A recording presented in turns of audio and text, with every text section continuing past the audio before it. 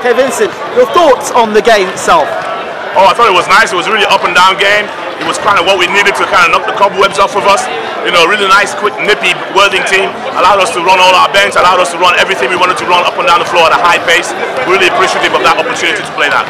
What did you make of the Worthing Thunder today, in your opinion? Well, I thought they were very good as far as going up and down the floor. Maybe we had a little edge on size and fitness, but really they've got a lot of weapons on the floor. And I think in the NBL 1, they're going to be a problem.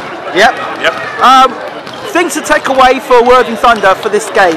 If you're their coach, what do you say to the players? I think they've got to look around at, uh, forget this game, they just got to look around at what they do in and around the basket and how they can get stronger around there. They've got plenty of perimeter players, plenty of ball handlers. It's what they can do around the basket that's going to determine the success this year.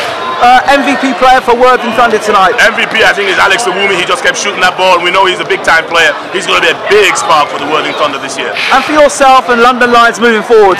I thought everybody played well here. I thought, you know, MVP Justin Robinson showed class when it needed to be, but it was a great team performance for my guys. I was delighted with the effort we put in. Thank you so much.